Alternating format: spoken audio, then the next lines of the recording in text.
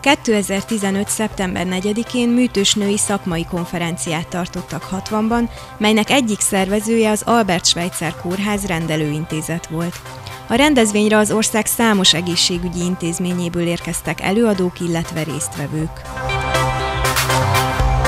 Szeptember 11-én indult a közel 50 kulturális rendezvényt, köztük a már népszerű Nemzetközi Hárfa Fesztivált, illetve a Liszt Fesztivált is magába foglaló Gödöllő ősz eseménysorozat. A részletes programról a Gödöllői Királyi Kastélyban tartottak sajtótájékoztatót. Az idén négy napig tartó 12. híres városi vigadalom vasárnapi programján is számos változatos rendezvény várta az érdeklődőket Turán.